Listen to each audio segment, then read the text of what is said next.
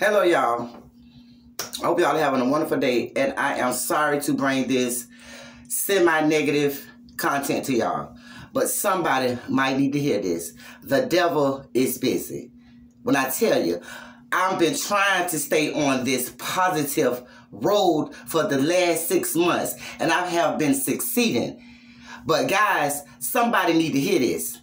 Cut them off. I don't care if it's your brother, your sister, your niece, your nephew, your cousin, your friend, your husband, your co-workers. I don't care who it is. Cut them off. You could be doing the most positive thing in the world. You could be going on a straight and narrow, trying to better yourself. Ain't doing nothing wrong, ain't bothering nobody. Ain't bothering nobody. Trying to stay on the positive road. And the devil, and the devil will come and will leave your mouth wide open. If somebody is upset with you and you know you ain't did nothing wrong, not one single solitary thing wrong to the peoples.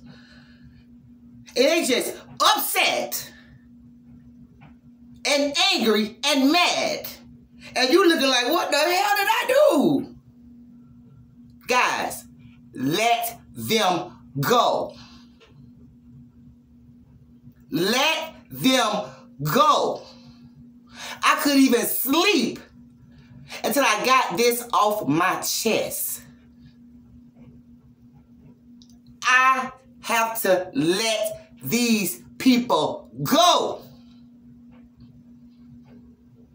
Because when people see, like me, I told y'all, I was one of the, I, I done did everything in the world to do besides go to prison and have a threesome. I did buy everything in the world, and these people know this. But I guess because I have changed my life around and I want to be better and I am better and I'm going to continue to do better and get better. I'm loving this work in progress that people see that they see but can't take. You have to stay with a positive mind. Stay focused on your grind. Stay focused on your life and what you got going on. Because Lord knows that's what I have been doing. Not worried about not nobody. Doing what I got to do to survive, to live, to be peaceful, to have a peace of mind. That's what I have been doing for the last year. And I have been doing great. I'm a work in process. But I have been doing great compared to the person who I was.